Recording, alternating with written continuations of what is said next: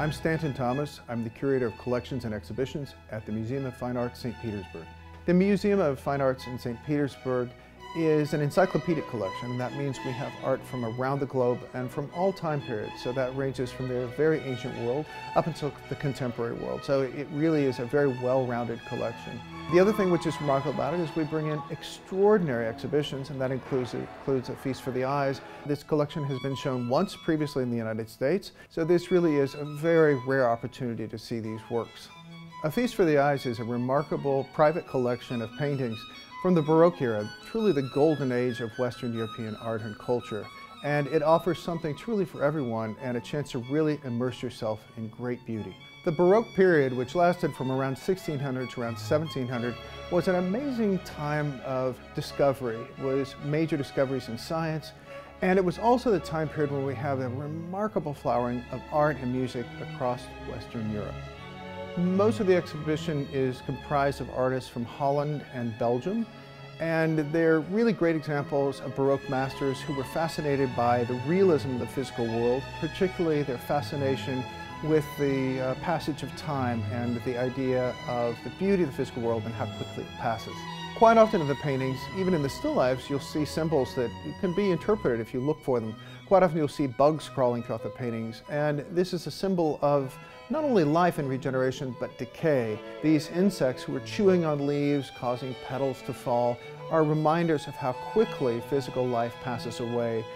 All of these paintings are from a collection, a private collection. They're on loan from the Grasset family who are from Madrid, Spain. So we're very lucky to have these uh, in the city for a little while to, to enjoy. Getting to have these objects here is remarkable in that we're taking the very best things out of someone's private collection and we're putting them on display for people to enjoy here and not just to enjoy, but to really learn from them. They're an extraordinary chance to, to learn about life, not just in the 16th and the 17th century, but many of these things reflect our own culture. It's hard to pick a favorite in the room. Um, behind me is one of the ones I would have to say is in the top 10. This is a painting by Floris Claesson van Dijk. And he uh, really excelled in doing what are called banquet pieces uh, that are about fecundity and prosperity. There's Chinese porcelain, there's imported German stoneware. You get a sense of the wealth of Holland and the fact that there are trade routes extended throughout the world. There's even imported lemons and capers and olives there, showing that the Dutch could afford these kind of luxuries and loved them so much they wanted to revel in them by capturing them in paintings and preserving them forever. The average people in Holland at the time not only appreciated art like this, many of them collected it.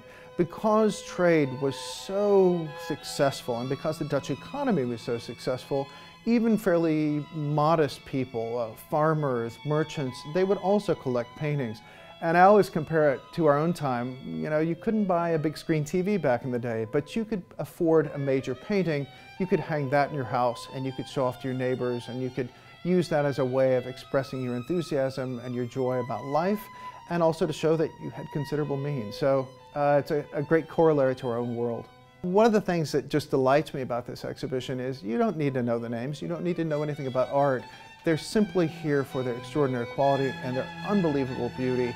And then beyond that, there's a lot of information in there that's fascinating and very easy to absorb. So it really is an exhibition that's a feast for the eyes and offers something for everyone.